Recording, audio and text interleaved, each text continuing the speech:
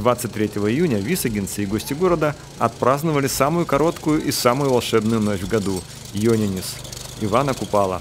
Организаторы праздника, Висагинский центр культуры, попытались придать празднику новую форму. На берегу Висагинского озера воедино слились народные традиции и современная культура. В исполнении фольклорных коллективов Висагинского центра культуры звучали песни на литовском, польском, татарском, белорусском, украинском и русском языках.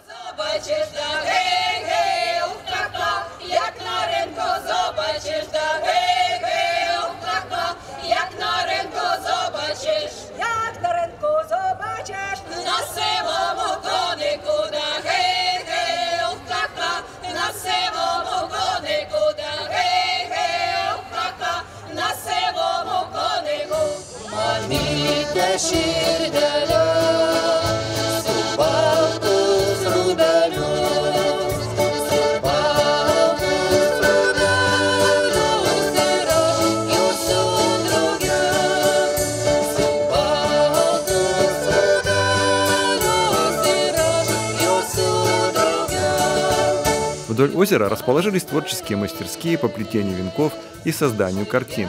Всевозможные развлечения для детей и инсталляции с лешами, русалками и другими сказочными персонажами.